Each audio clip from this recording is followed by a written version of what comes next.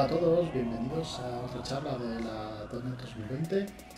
Espero que lo, lo estéis pasando bien, es una gran conferencia, además directa a vuestras casas al ser virtual. Eh, en esta charla mm, vamos a hablar en concreto de Xamarin Forms, de cómo crear aplicaciones móviles con esta tecnología y usando en concreto Reactive Extensions y Reactive UI.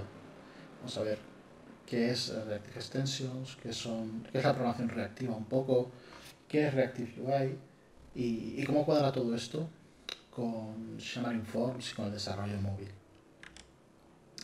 En primer lugar, eh, dicen que es de bien nacidos ser agradecidos, así que vamos a dar las gracias a, a, la gente que ha hecho esto posible, sobre todo a, a Plain Concepts por organizar una conferencia tan chula como esta eh, y ponerla a disposición de todos para que tengamos un montón de conocimientos nuevos y podamos aprender un montón de cosas nuevas.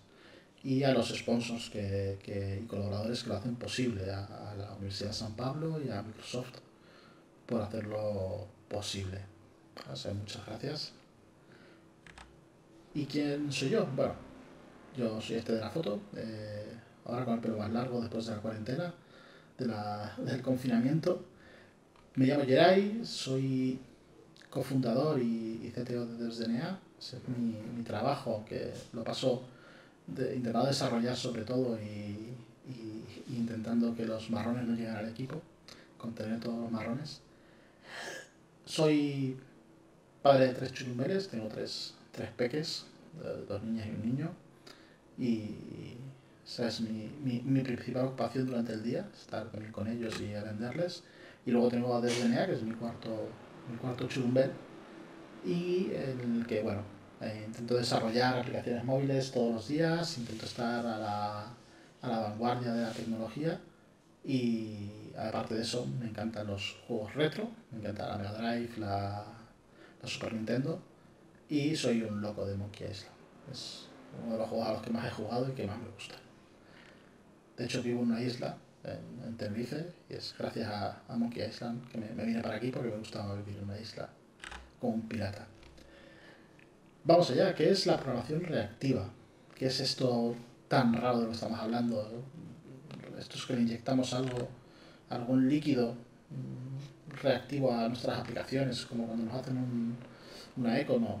Esto mmm, es un concepto que no es nuevo, no es una moda de ahora que haya salido eh, nueva de hace un año, dos años.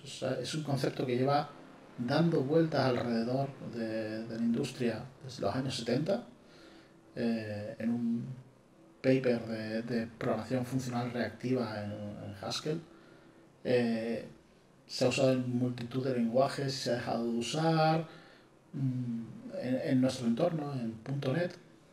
Eric Major lanzó lo que se conoce como rx.net, las extensiones re reactivas para .NET, en 2009. Eh, el señor Major mmm, ha trabajado entre otras cosas como en, en LinkU o en C Sharp, o sea que tiene un track record de, de, trabajar en cosas interesantes y que realmente son muy muy útiles para los demás. Y Reactive Extension creo que es una de sus creaciones un poco a lo mejor más eh, desdeñadas o, o, más olvidadas. ¿no? Eh, ha pasado, se lanzó, tuvo un momento de gloria de algo nuevo y luego se ha olvidado bastante y, y no se ha extendido, por ejemplo, como otras cosas como LinkU, que mmm, todo programador de .NET usa LinkU constantemente eh, en su día a día. Veremos qué nos ofrece eh, Reactive Extensions y podemos preguntarnos por qué no ha tenido ese éxito. Quizás el cambio de paradigma que propone hace que sea más complejo. Que por ejemplo LinkU, que se, se, se adapta al paradigma que teníamos. Y también veremos cómo se combina pues, las extensiones reactivas con otras cosas como LinkU para darnos una herramienta muy muy potente. Eh, eso, Reactive Extension. Reactive UI, que ya hablaremos de ello después, es algo totalmente diferente, basado en el trabajo que se, se hizo en Reactive Extensions. Eh, Anais Betts, eh, junto con el, el, equipo de desarrollo de GitHub, en 2011 lanzan Reactive UI. que es un framework sobre Reactive Extensions muy especializado. Pero veremos que es algo muy específico que tiene un uso muy especial. ¿Qué es? Seguimos sin saber qué es la, programación reactiva.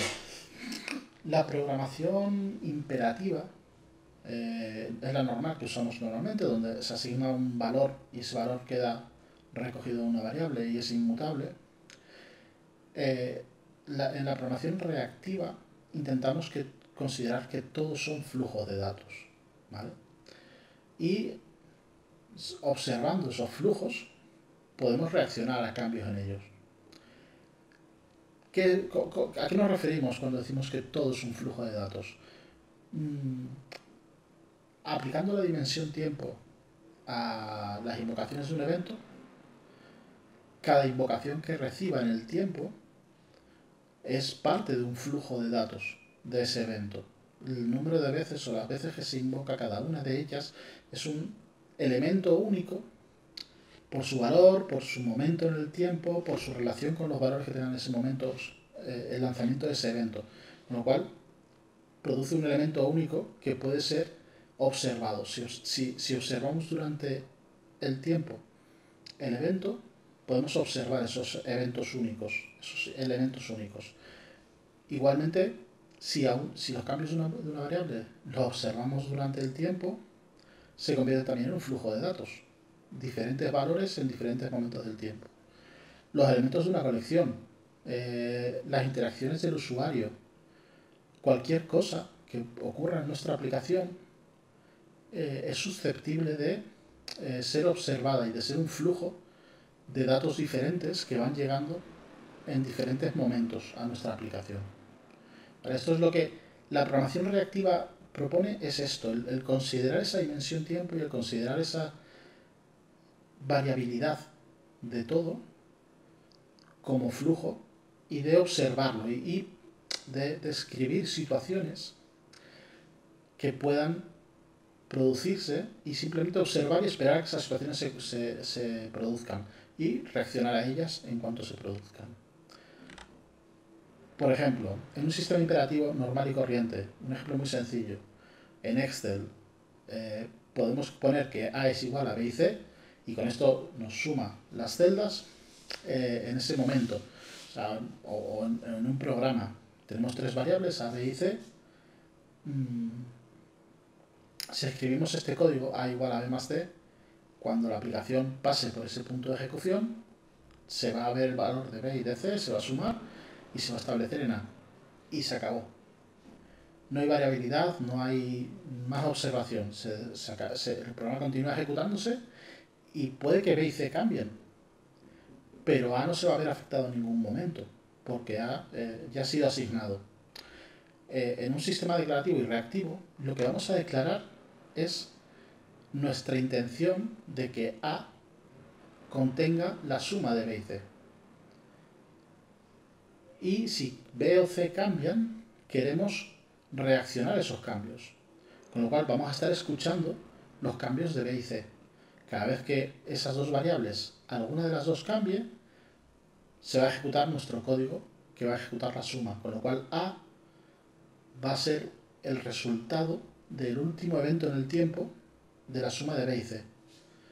Y aquí es donde las extensiones reactivas nos permiten crear objetos observables, combinarlos con LinkQ, combinarlos con la notificación de cambios y tener algo realmente muy potente para trabajar con ello. No hay definición sencilla de, de las extensiones reactivas. El cambio de mentalidad no es grande, pero hay que hacer un clic en el cerebro para pillarlo lo vamos a ver con código. Vamos a quitarnos la slide rápido y vamos a ver con código muy sencillito, poco a poco y paso a paso, realmente cómo funciona todo esto. Bueno, y, y vale, Reactive Extension, reaccionar a cambios, flujos de datos. ¿Y qué demonios es eh, Reactive UI entonces?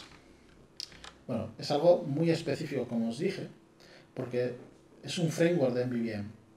Multiplataforma, Está disponible para, Windows, está disponible para Xamarin, está disponible para varias mm, versiones y de hecho es el padre mm, entre comillas, de otro sistema como Reactive Cocoa.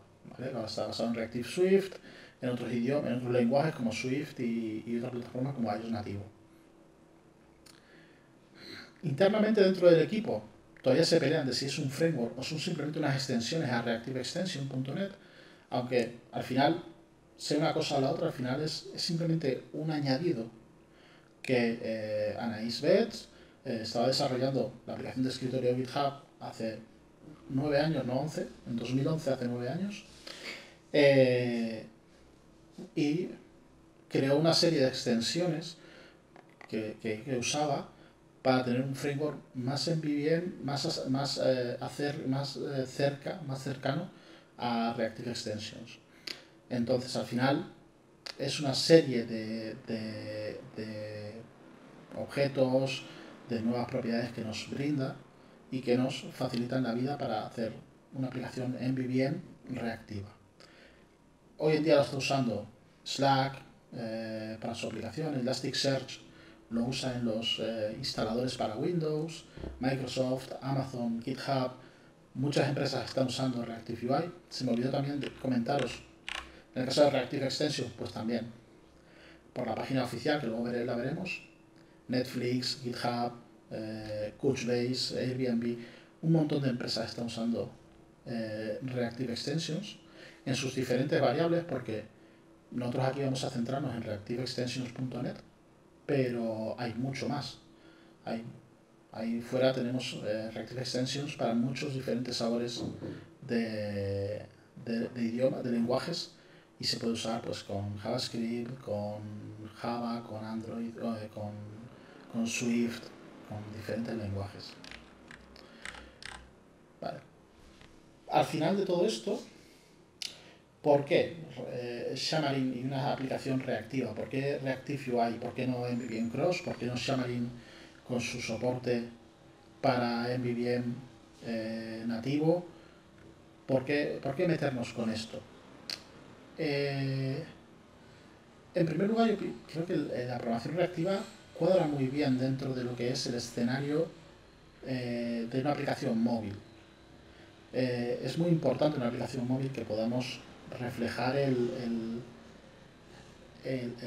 la actividad de la aplicación hacia el usuario, que es que la aplicación se, se actualice constantemente, que sea fácil de usar, que responda a, a, la interacción que el usuario y el resto del sistema tienen con ella, las suspensiones, el uso de memoria, el resto de aplicaciones que intentan consumir la pantalla. Todo esto, la respuesta de un servicio web asíncrono, la sincronía es muy importante en, en una aplicación móvil y creo que cuando hay asincronía, cuando hay este tipo de, este tipo de interface muy responsives, que tienen que, que, informar muy bien al usuario, es donde las extensiones reactivas y donde Reactive UI realmente van a brillar y nos van a permitir hacer algo muy, muy chulo y sobre todo muy, muy fácil porque no hay nada que vayamos a hacer con Reactive Extensions o Reactive UI que no podamos hacer sin ello. Simplemente nos ofrecen una forma más sencilla, una vez que superas el periodo de aprendizaje, verás que es muchísimo más sencillo, más eficiente y te permite centrarte más en eh, diseñar la aplicación y en plantear conceptos de la aplicación, en expresar tus ideas, que en pelearte con el código para hacerlo realidad. Al final, a mí algo que me gusta mucho del concepto de la programación reactiva o, declarativa es que eh, mi código exprese ideas, exprese funcionalidades. No, no, que, no, no que me pelearme con los bits y los bytes y, y tuberías y logística interna, sino que exprese realmente eh, las ideas de lo que estoy haciendo. Y bueno, aquí eh, lo importante es empezar a ver el código. Eh, he intentado pasar las slides muy rápido porque creo que son una locura y que no te enteras de qué es Reactive Extensions y qué es Reactive UI hasta que realmente lo vemos funcionando y lo vemos en código. Así que vamos a empezar de cero. Vamos a, crear una aplicación Xamarin Forms. Vamos a ver qué hace falta añadirle para poder empezar a trabajar con extensiones reactivas y para poder empezar a trabajar con, con RX.NET. Luego vamos a ver que hace falta pasar a Reactive UI y en cada uno de los pasos qué nos ofrece eh, cada framework y cómo vamos aumentando la, las funcionalidades que tenemos. O sea que vamos a parar el código, parar el PowerPoint y abrimos Visual Studio 2019 y creamos un nuevo proyecto. Vamos a hacerlo. Una aplicación Xamarin Forms, RxDemo, por ejemplo, y la creamos. Vamos a crearla en blanco, no nos vamos a complicar, vamos a hacerla para Android y para iOS vamos a crearla.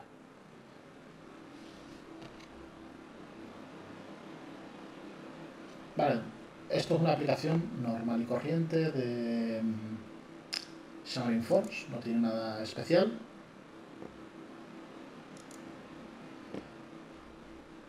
Y lo único que vamos a hacer es simple y llanamente vamos a dejar esto que tiene un colorcito bonito y vamos a poner aquí un entry que se va a llamar entry username un placeholder de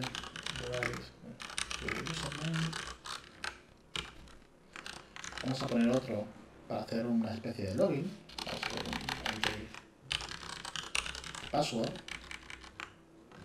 Un placeholder y le ponemos password azul y vamos a poner una pequeña label aquí abajo el nombre va a ser label user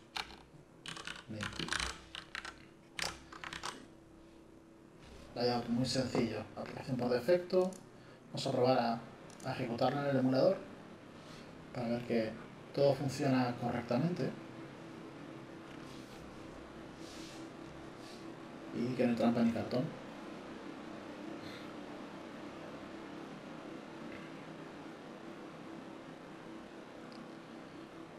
Lo que vamos a hacer ahora es empezar a trabajar como si no tuviésemos un, un MVVM, simplemente una aplicación normal, la tenemos en MVVM y ver que bueno, tenemos nuestro password, tenemos nuestro username, la no se ve, no tiene nada.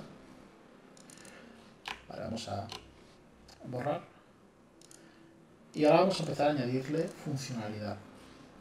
Una de las cosas que podemos hacer, por ejemplo, es manejar aquí el evento TextChange, que nos cree un evento por defecto. Y entonces en CodeBehind nos habrá creado una entrada para, para el manejador del evento. Aquí podemos poner label username.text es igual a entry username y así cada vez que el texto cambie en el username se actualiza. Esto no tiene ninguna ciencia es algo que sabemos que pasa. Aquí, aquí hay un problema tenemos un problema. Al manejar el evento en Shamel no tenemos forma, formas, tenemos que, por, por, la norma general, no se nos olvida obviamos que ese evento está manejado. Y de ahí vienen un montón de memory leaks y problemas. Al menos deberíamos, en el disappearing, tratar de decir eh, entry username punto text eh, menos igual entry username text De hecho, muchas veces para obligarnos a acordarnos de, suscribirnos, lo que podemos hacer es manejar el evento directamente en CodeBehind en vez de en Channel.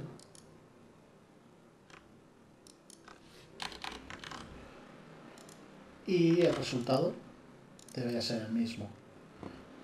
Cuando la, la, pantalla aparece, nos suscribimos al evento, cuando la pantalla desaparece, nos desuscribimos del evento. Pero el resultado es el mismo. Se sigue eh, actualizando. Y aquí es donde podemos empezar a, a trabajar. En primer lugar, si tenemos un evento no pasa nada, pero si tenemos varios, como por ejemplo entrypassword.textchange o .focus, queremos hacer algo cuando se haga foco, imaginaos, o queremos hacer algo cuando se haga eh, un focus. Eh, al, al, al, final tenemos un montón de eventos que tenemos que desuscribirnos manualmente, tenemos que acordarnos porque desde que uno se quede colgado, la página se va a quedar colgada con la model, con todo lo que tenga asociado y tenemos un memory leak enorme y rampante, que es una de las cosas por las que eh, se le da mala fama a los eventos, cuando son una herramienta normal y corriente como cualquier otra, no hay herramienta mala, el, uso es el que está mal, no la herramienta. Toda herramienta tiene su uso correcto y, y su momento de ser usada. Entonces, Reactive UI nos puede ayudar en esto. Perdón, Reactive Extensions. Primero que nada vamos a añadir aquí en el, en el proyecto Net Standard, vamos a venir a buscar system.reactive, que son las, eh, la librería básica de eh, Reactive Extensions para .NET Standard. Pues la vamos a instalar. Vale, y incluso nos podemos instalar Reactive Extension LinkQ también. Vale, luego tenemos muchos más paquetes. Con estos dos llega. Una vez que tenemos instalados estos dos paquetes, podemos empezar a hacer cosas. Dijimos que un evento, si era observado a lo largo del tiempo, era un flujo de datos. Entonces, lo primero que tenemos que hacer es convertir el evento en un objeto observable. Para esto vamos a crear aquí un i observable de event pattern, en este caso de text eventars. Vamos a crearnos un objeto observable de queremos que declarar lo que es de un patrón de evento del evento TextChange eventars. Estos son los argumentos. Lo vamos a llamar, username change observa.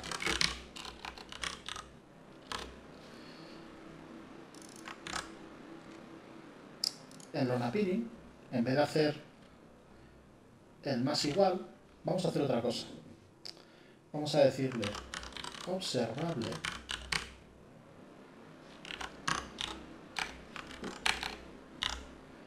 un objeto from event pattern. Y vamos a, a, coger el manejador del evento entry username.textChange más igual h.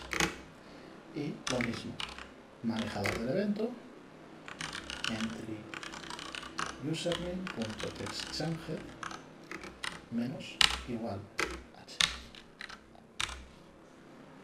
Nos falla porque tenemos que indicarle el tipo de, los argumentos, que son text change elementales.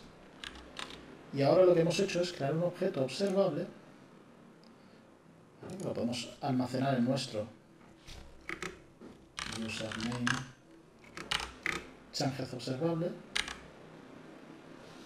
Es un objeto observable que cuando se crea maneja el evento TextChanged y al destruirse, y esto es lo importante, al destruirse va a desmanejar, va a liberar el evento TextChanged. Con lo cual esto ya no nos hace falta, esto tampoco. E incluso podemos prescindir de esto. Y podríamos escribir algo como esto. Username punto subscribe nos llega un evento. El evento que nos llega es el text changer. El argumento que nos llega es el text changer. Y aquí le podemos decir label username.text es igual a entry username.text vamos a suscribirnos a este objeto observable, vamos a examinarlo para que cada vez que nos llegue se ejecute esto. Si ahora lo ejecutamos,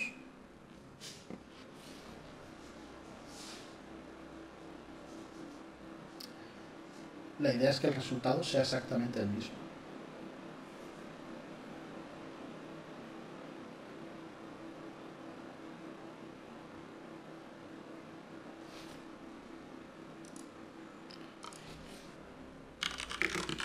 Funciona exactamente igual.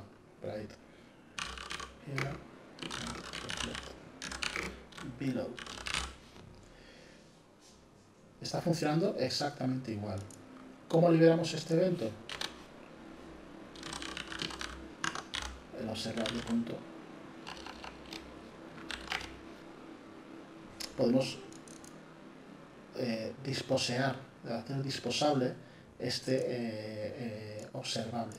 Para ello nos hace falta crear una colección especial que se llama composite disposable. Vamos a crear una nueva. composite disposable. Y aquí podemos empezar a añadir observables, por ejemplo.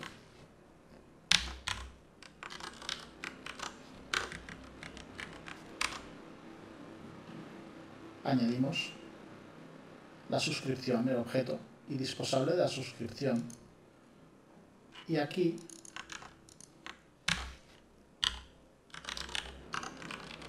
podemos llamar a dispose. La ventaja que tenemos es que podemos hacer esto. Podemos copiar esto exactamente igual y decirle password changed observable y con el mismo código solo que cambiando esto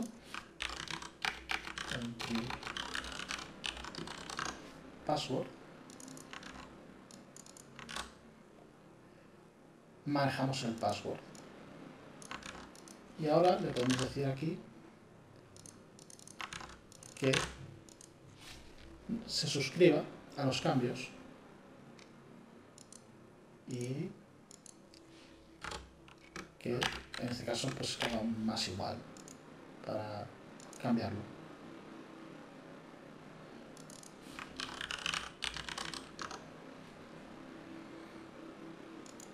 Podemos hacerlo esto es igual. Dólar comillas. Y le vamos a decir que ponga el password.text espacio. Username.text ¿Vale? no es lo más recomendable que tu password seguro lo muestres en una etiqueta pero bueno, esto se puede hacer lo bueno es que ya no tenemos que llamar a nada más. O sea, ya simplemente con haber llamado disposables.dispose nos encargamos de que todas las suscripciones funcionen correctamente y que no se nos quede en ningún momento colgado. Aquí podemos simplificarlo todavía más porque podríamos escribirlo de esta forma.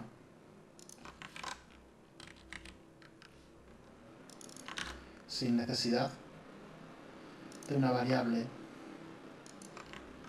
que nos guarde el, observable, porque solo vamos a usar para esto. podríamos escribir esto. Pues bien dos variables aquí. y simplemente manejamos y nos suscribimos. Incluso podemos complicarlo mucho más. ¿Vale? Podemos hacer un punto where, ¿vale?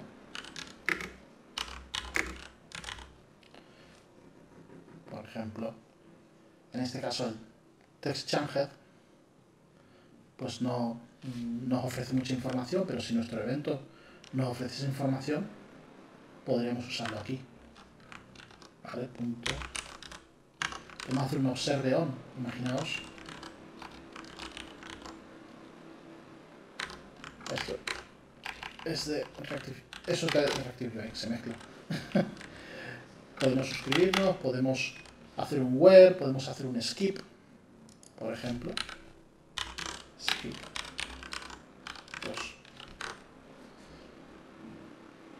Y aquí, ¿qué podemos hacer? Un throttling. Throttle de Newton span y el throttle lo vamos a poner por 0 horas, 0 minutos, 2 segundos. Por ejemplo.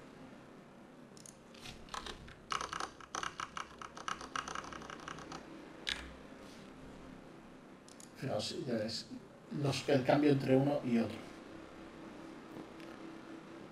Ya veis que estamos jugando con un evento, no es una colección, no es una lista, es un evento y empezamos a hacer auténticas locuras. En el caso de el, el entry, le hemos dicho que un skip 2. No ha lanzado el evento y el tercero lo escribe. En el caso del eh, password, le hemos dicho que haga un throttle de 2 segundos. Si escribimos y no paramos 1, 2, bueno, ha fallado. Precisamente porque eh, al tener un throttle tendríamos que haber hecho un device.gameinvoke. Aquí.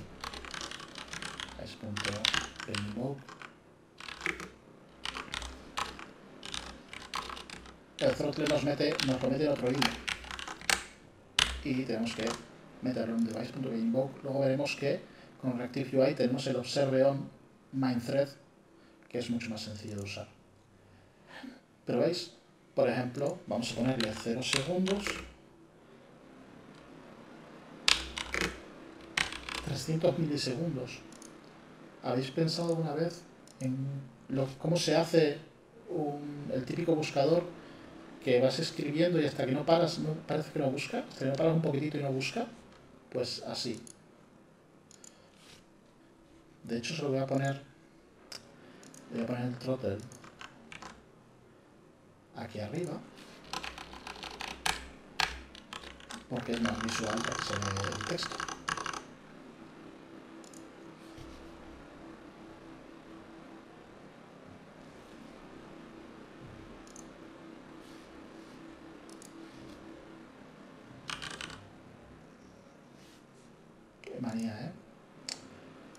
Pasa por ir rápido.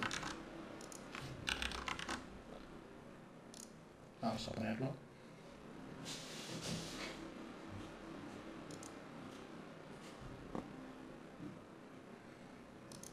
Ahora sí, vamos a buscar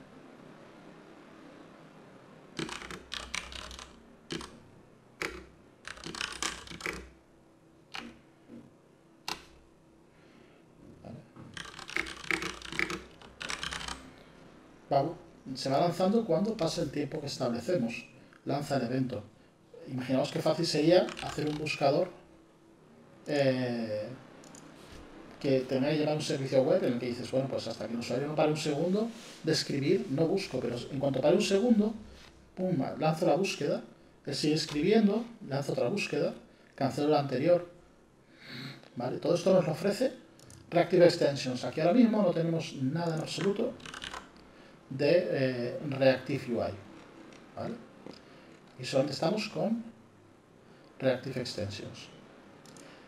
Vamos a echar un vistazo a ver qué podemos hacer con eh, Reactive UI. Para esto ya vamos a venirnos aquí, vamos a venirnos a los paquetes de la solución y vamos a instalar Reactive UI. Vamos a meterlo tanto en el demo como en el de Android. Ahora el de iOS, como no lo vamos a ejecutar hoy, que lo pongamos. Aceptar.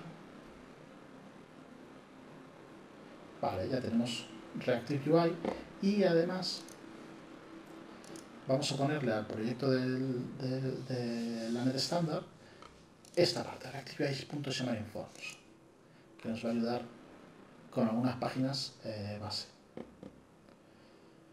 Vaya, tengo que hacer un downgrade.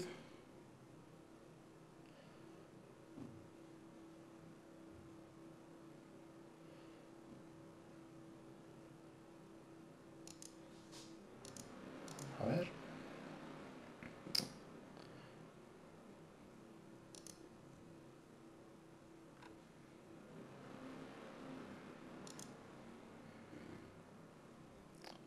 Vamos a actualizar Semarinforms. ¿Quién dijo miedo en medio, en medio de la demo?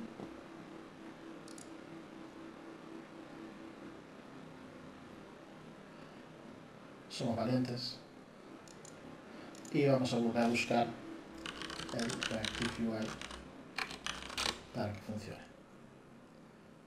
Semarinforms. Y nos lo instalamos.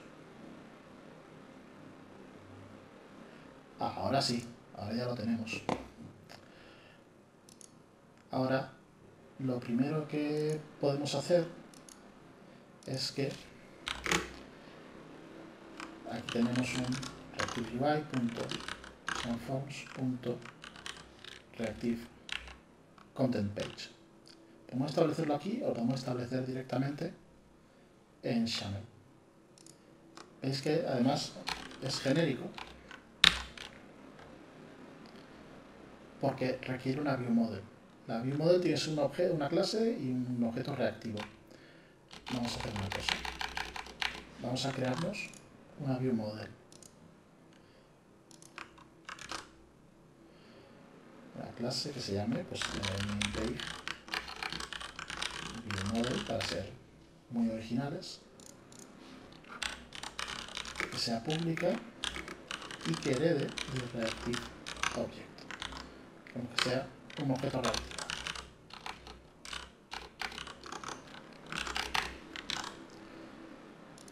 Y ahora vamos a vernos aquí. Vamos a quitarle el content page a la main page. Está definido en el XAML. Como son eh, parte de clase que se ejecutan luego, no hay ningún problema. Vamos a añadir un namespace Reactive UI y vamos a cambiar esto por una Reactive Content Page. La Reactive Content Page necesita un argumento. Vamos a ponerle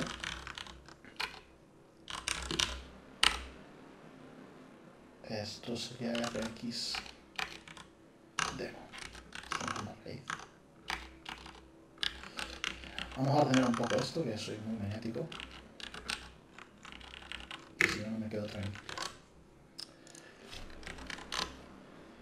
Vamos a decirle que esto tiene un type arguments que es la main page view model. Simplemente esto. Con esto ya.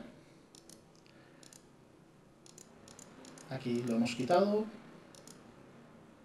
y aquí tenemos que tener una propiedad viewModel que se la podemos establecer a una new viewModel por defecto.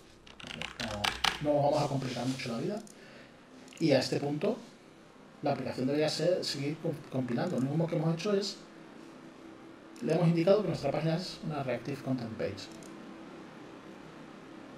Pero más allá de eso, debería funcionar correctamente. a ver si es cierto, no, si no os miento, y funciona o, no. Funciona, sigue funcionando la parte reactiva que hemos hecho. Con la variable es que ahora podemos hacer aquí un código que se llama this.whenActivated.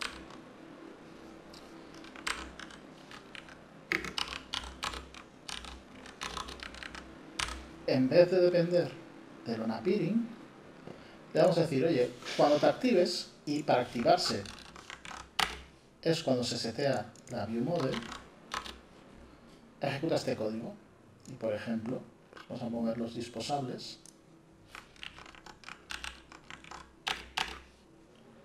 Aquí. ¿Vale? Eh, cuando te actives, cuando la página esté activa, ejecuta esto. Y por, supuesto ya no nos hace falta este composite disposable que tenemos, porque ya nos da una acción de disposable el activator Con la ventaja además de que ya no tenemos que nosotros llamar al dispose, porque ya se encarga la página reactiva de llamar a dispose por nosotros. Con lo cual ahora ya es blanco y en botella. Podemos coger, aquí tenemos una acción de, de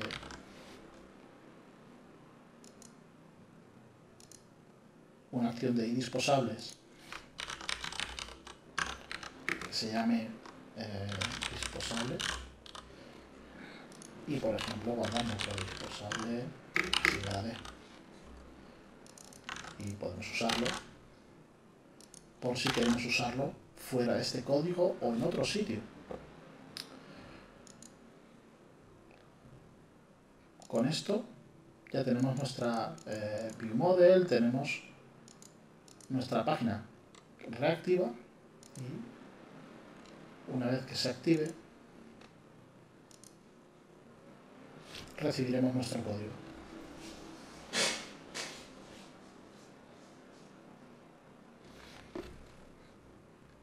La BioModel se activa y el WhenActivated se lanza, nuestro código se lanza y todo sigue funcionando de la misma forma. Más cositas que nos ofrece Reactive UI. Tenemos, por supuesto, los Reactive Command, eh, command,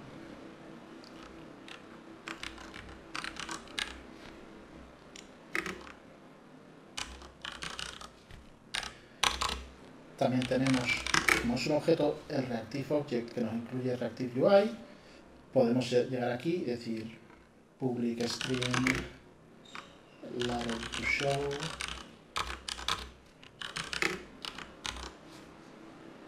Esto.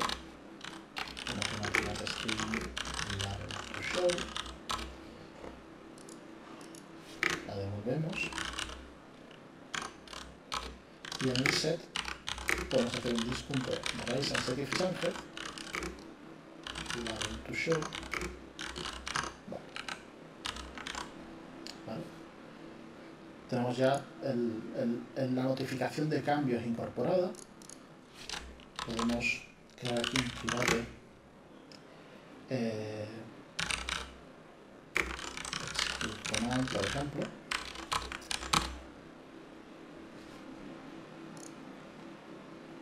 y podemos hacer un can execute. Pero el can execute de los comandos reactivos es diferente.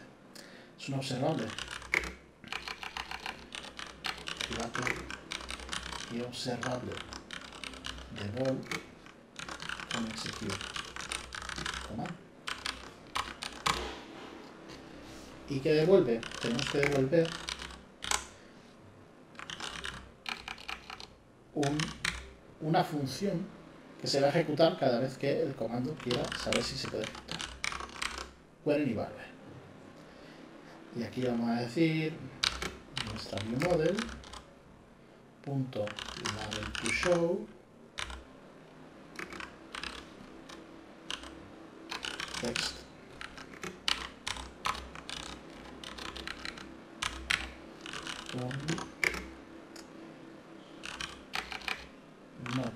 string punto is nulo empty text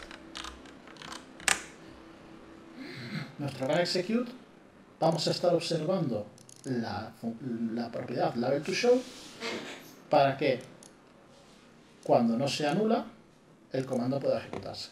Por ejemplo, aquí podemos crear el comando que es execute command es igual a activecommand.create le decimos el método a ejecutar y ejecutamos el método observable para que no nos cree, porque lo ejecutamos, porque esto nos devuelve un i observable que es lo que se va a guardar el execute acción command. ¿Vale? Y ahora, ¿qué hacemos con el label to show y con el execute action command? Pues, antes que nada os voy a enseñar una cosa. Como esto no hace falta, porque con Reactive UI podemos indicarle que la observación la haga en el main thread. Y al hacer la observación en el main thread, automáticamente el objeto se encuentra en el main thread. Aparte de esto, tenemos una cosa que es el build, donde podemos coger la model y le decimos label to show de la model, enlázalo a label.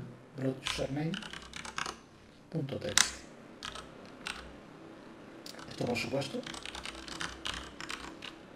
lo añadimos. También lo guardamos dentro de nuestro disposable para eliminar el binding cuando ya no lo necesitemos. Y además podemos hacer un link command si, si, si presionamos un botón.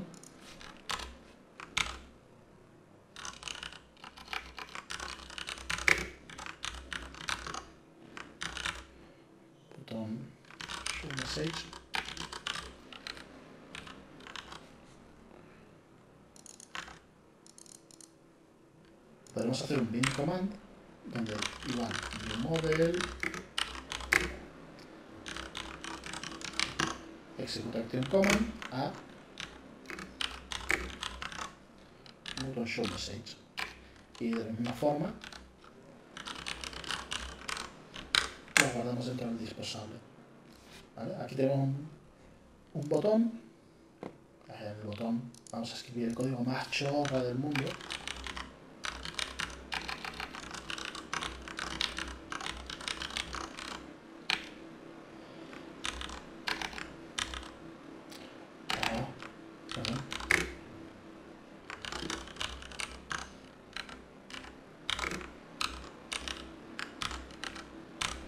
Vamos a escribir el código más chorra del mundo en el execute command, pero por un lado vamos a bindear el, que el recibir el, el, label to show, cuando llegue el get, aquí, cuando llegue el, set, perdón, veremos que se lanza automáticamente este código.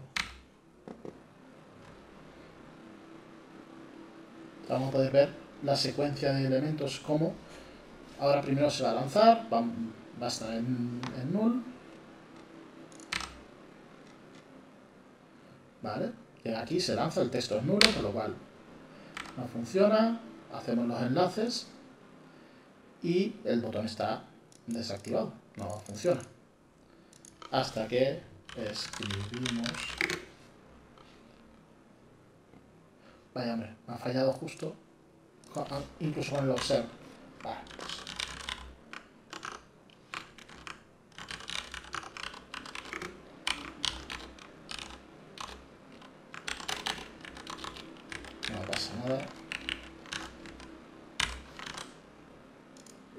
Aquí.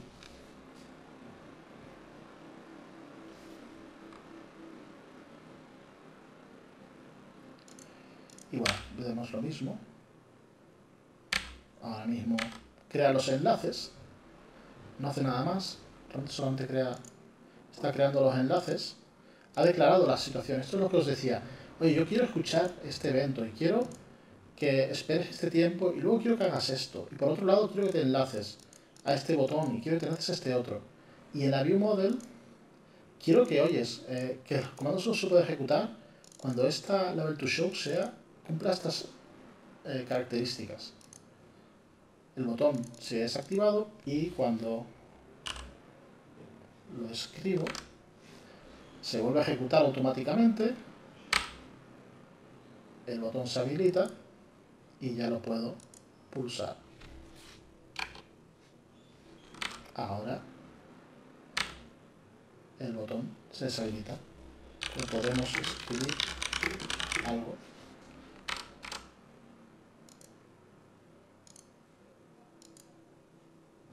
y que funcione esto es una pincelada un poco a, a Xamarin Forms eh, y, a Reactive UI.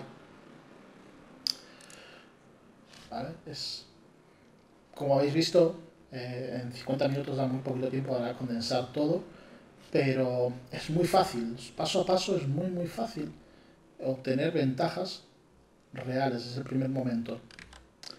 Más información, tanto Reactive UI como, como Reactive Extensions son miembros de, de, la Net Foundation, están en la Net Foundation, son totalmente open source y podéis colaborar, podéis eh, descargaroslo, podéis echarle un vistazo. Y en reactivex.io tenéis mucha más información de Reactive Extensions, en reactiveui.net muchísima información sobre Reactive UI y además podéis apoyar los proyectos colaborando tanto económicamente como eh, con pull requests, con ayuda, con soporte. Así que echadle un vistazo y aquí lo tenéis en GitHub para que tengáis toda, toda la documentación necesaria. Y nada más, por mi parte, muchísimas gracias, ha sido un placer eh, poder compartir con todos vosotros y que la organización, sobre todo Plain Concept, me haya invitado. Espero que sigáis disfrutando del día. Adiós.